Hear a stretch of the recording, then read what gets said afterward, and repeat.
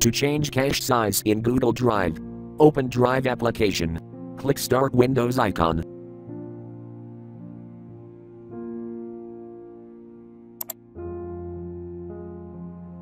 Click Settings.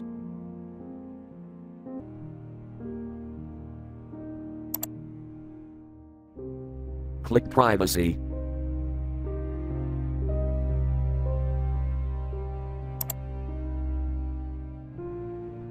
Click Feedback and Diagnostics.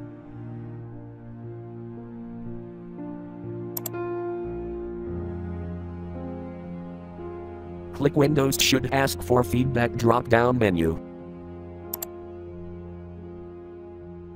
Click once a week.